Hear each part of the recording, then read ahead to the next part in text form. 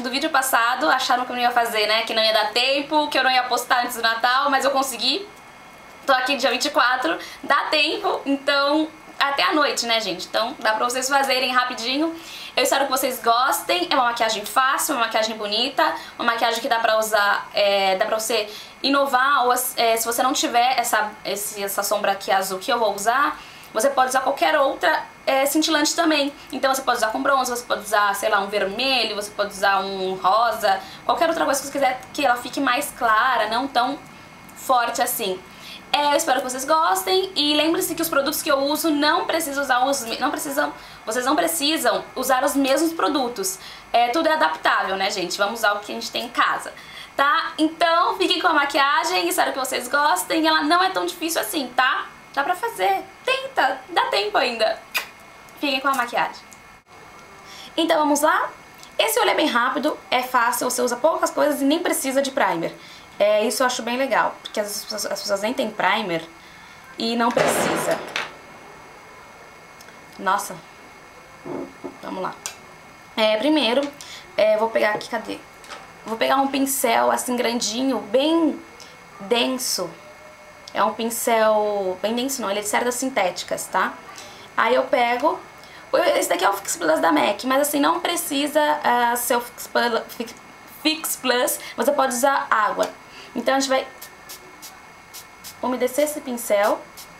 E aí, como eu já falei pra vocês, quando a gente umedece o pincel, a sombra fica muito mais forte. E eu vou usar esse do de alta cintilância da Natura. Eu vou usar a cor preta. Esse é o... Esse é a cor 8. Eu vou usar o preto. E vou passar em toda é, a pálpebra, pálpebra móvel. Até a dobrinha, pra quem não sabe. Ó. A gente passa até a dobrinha do nosso olho. Olha como fica bem forte, gente. Pelo amor de Deus, olha esse preto. Passa bastante, porque o preto ele vai ser a nossa base. Tem maquiagens que as pessoas começam com, com o branco para deixar mais claro. Esse caso a gente começa com o preto.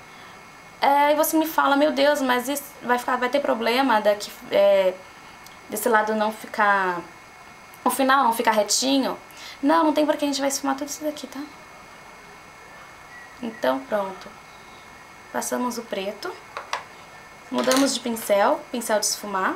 Esse daqui é o da Bare Minerals Crease Define. É, eu vou pegar essa paletinha aqui da NYX, que é a Jazz Night, e vou usar esse marrom aqui. Ele é opaco. Tava olhando pra ter certeza. Ele é um marrom opaco. E eu vou passar onde terminei de passar a sombra é, preta. Então, o que a gente faz?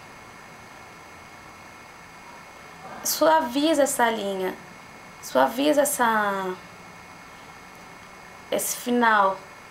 Pra mostrar... É, fazer como se estivesse diminuindo a cor. Entendeu? É um, um degradê mesmo. E nisso você pode ficar bastante tempo nessa parte da de hum, esfumar. Dessa mesma paleta da NYX, eu vou usar uma outra cor, só pegar o pincel, que é o nome aqui. Esse é um pincel de som, é o pincel de sombra da Avon, tá? Que é larguinho aqui embaixo. Eu vou pegar a cor, esse amarelinho, tá? Mas assim, quase nada, eu só vou vocês conseguem ver aqui, ó, só colocar a, o pincel nele. Até tiro aqui um pouco na mão o excesso, porque eu não quero muito, quase nada, porque eu vou passar embaixo da sobrancelha pra dar uma cor, ó. A gente passa e tira aqui com o dedo mesmo e um pouquinho aqui no centro, mas assim, é um pouquinho mesmo, quase nada, quase nada. Não tem Ai, eu sujei, gente. E o bom, ainda bem que eu me sujei pra falar pra vocês. A sombra preta, ela não cai aqui embaixo quando a gente usa úmida, porque ela está grudadinha no pincel. Então fica mais fácil pra quem quer usar sombra preta e não tem tanta coordenação assim. Pronto, a gente passou aqui. Certo? E agora vamos colocar a cor. A cor que vai dar o wow dessa maquiagem. Essa cor, uh, eu vou umedecer também o pincel, achar o meu pincel, qual é aqui? É um pincel de corretivo que eu tô usando porque é firminho, tá? É, também vou molhar, vou umedecer. Deixa eu espirrar pro outro lado pra você. É, aí, essa, é, esse é o Duo da Natura Una também, a sombra de alta cintilância, tô vendo nó. É, a cor, é o número 6, a cor 6, tá? Então vamos usar aqui com o pincel molhadinho. E eu vou depositar em cima do preto.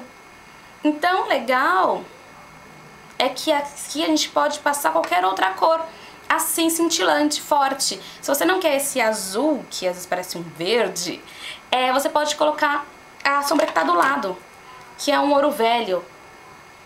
Fica linda também. Então, a gente usou preto como base e pode passar outras sombras por cima. É bem legal isso. Porque é praticamente o mesmo jeito você faz várias maquiagens diferentes. Ó, depositando. Eu subo só um pouquinho aqui, não muito, pra dar aquele, aquele efeito, como eu disse antes, de degradê, é, degradê, que a sombra vai diminuindo. Feito isso, é legal pegar um pouquinho mais do marrom e dar uma esfumadinha de novo.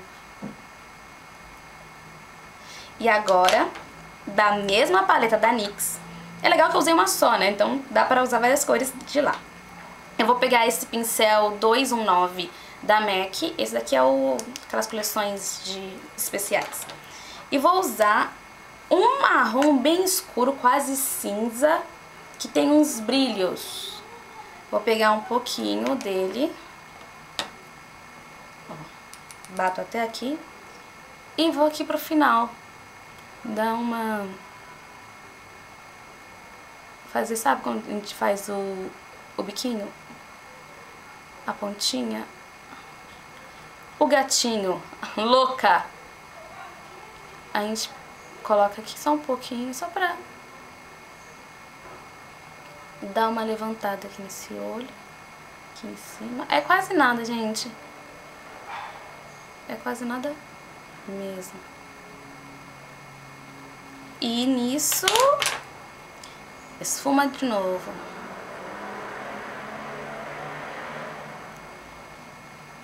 Vou colocar um pouco mais do amarelo aqui, uh, clarinho, que eu tô vendo que outra é um pouco mais clara.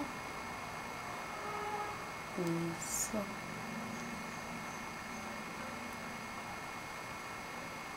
Fico olhando pra ver se tá igual. E aí vou fazer a parte de baixo.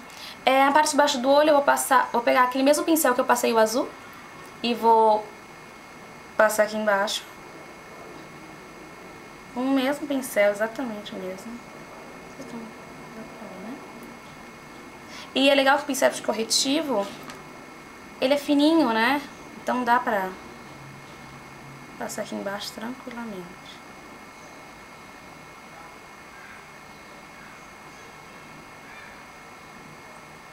Passei.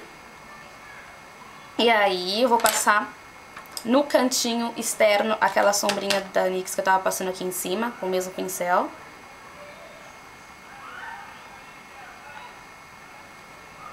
Pra dar uma escurecida.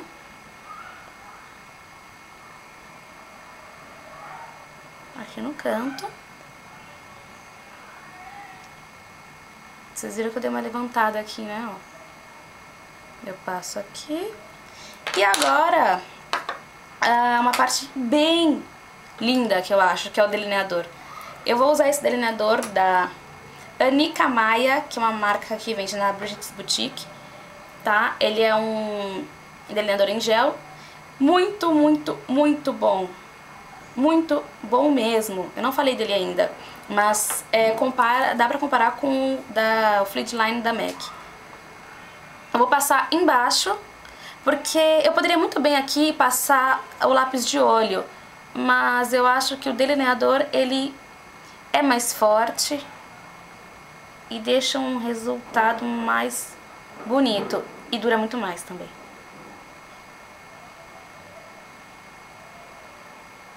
Dá pra ver? E aí a gente vai passar em cima.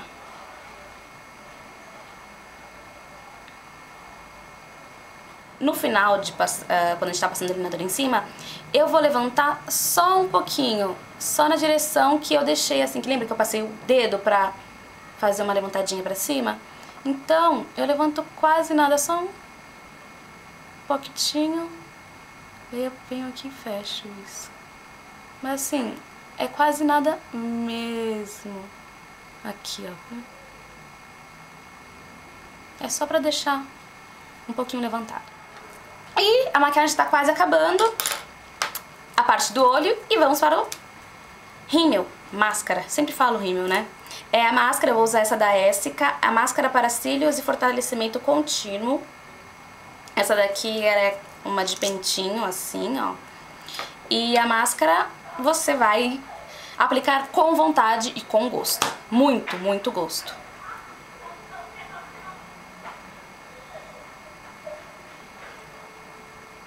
E depois de aplicar a máscara, os olhos estão praticamente prontos. Praticamente não, estão prontos. Se você quiser, você aplica mais, você espera secar, porque assim, eu apliquei várias camadas, mas depois você pode esperar secar e aplicar mais ainda. Se você é louca, adora uma máscara. Então, agora pra o blush. Pra as bochechas eu vou usar esse mosaico da Avon. Eu vou passar... Eu achei ele tão lindo. É, eu não quero uma coisa muito pesada. Ah, só pra vocês saberem, eu passei o pó, eu passei também o pó da Avon, da linha Flaw, Ideal Flawless. A minha cor é a mel. Eu gostei dele. Gostei. É, vou passar o blush voltando, vou passar o blush com o pincel da Natura, tá? Então aqui já passei bastante. Venho. Dou um sorrisinho. Eu gosto de bastante porque ele é um bronzer. Então dá pra passar bastante. Você ficar com uma cor bronzeada. É, vou passar aqui um pouco no nariz. Eu gosto.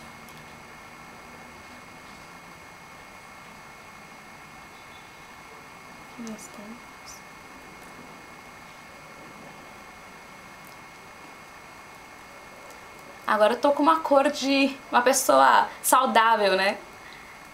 Tá com a pele toda de uma cor só. Os lábios eu vou passar... Eu acho assim, o meu o olho, o olho tá bem forte, eu gosto de uma coisa um pouco mais clara uh, na boca.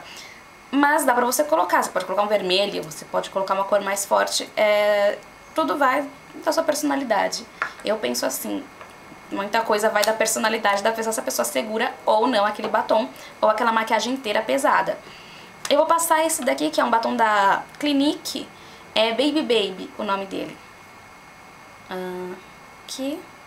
Ele é bem clarinho, é um rosinha, ó. Deixa eu até mostrar pra vocês, é uma coisa bem clarinha. E é... Ele parece mais um gloss. Ó. É um nude, quase nada. E pronto. E é isso. E assim ficou a maquiagem. Deixa eu ver se vocês conseguem.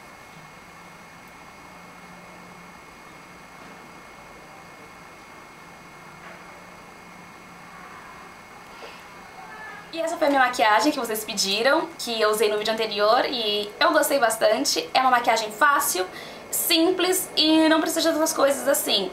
Você não precisa colocar a sombra que é iluminando se você quiser, se você não tiver, você pode usar só três cores, o preto, o marrom, que precisa de um marrom para dar uma esfumada, e a cor que você vai colocar em cima, que pode ser o azul ou qualquer outra sombra cintilante. E é fácil, rápido, um bronzerzinho e um batom e você tá linda. Eu espero que vocês tenham gostado. Vou tentar fazer mais maquiagens pro final de ano, mas não, mais uma. Não, mais maquiagens. Não, acho que só mais uma. Não sei, vamos ver. Eu vou tentar fazer mais uma pra vocês. E espero que vocês tenham gostado. E um bom Natal pra todo mundo. Um beijo. Tchau, tchau.